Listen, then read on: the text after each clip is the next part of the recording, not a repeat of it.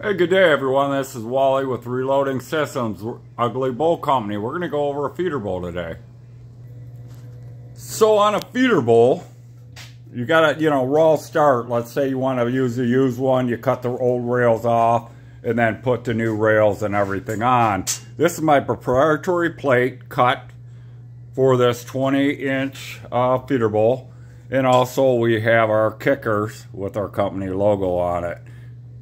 So that's basically how this bowl's set up.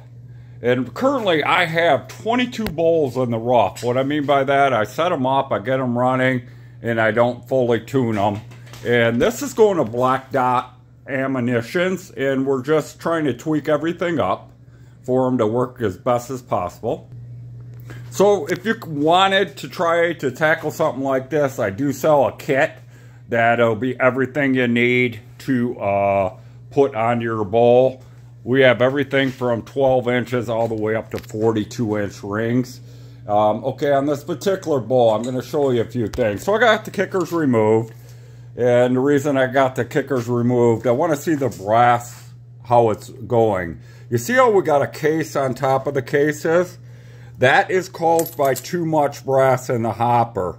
That'll allow the brass, I'm going to turn it on, it'll get a little noisy.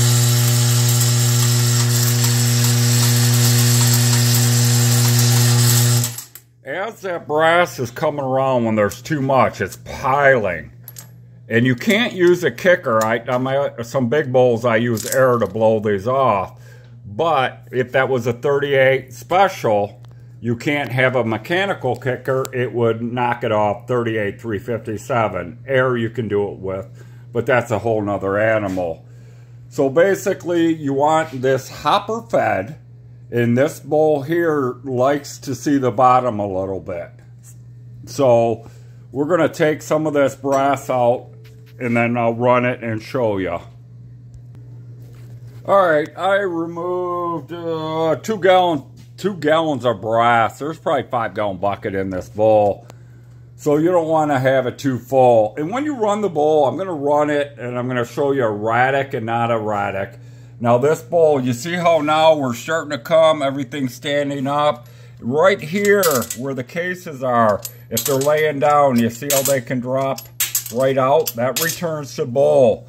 This little kicker right here allows the case not to hit the rail on an angle like that. What it'll do, if it's leaning over, it'll stand the case up. And this just allows for nice steady flow Again, I'm going to turn it on. It gets noisy.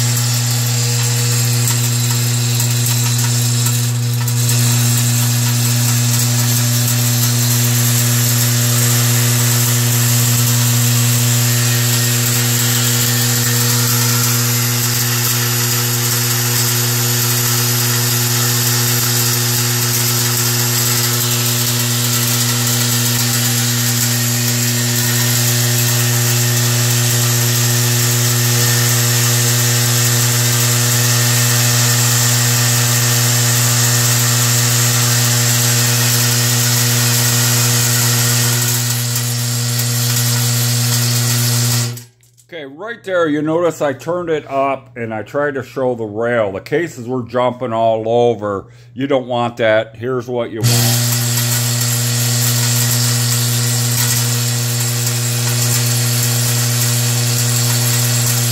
So you want a nice steady moving towards the kickers, but you don't want it erratic.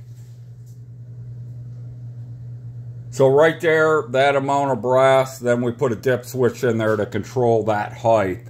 So that right there is a good setup. I'm going to end a video here and then I'm going to put the kickers on. It's going to be a multiple step on the feeder bowl.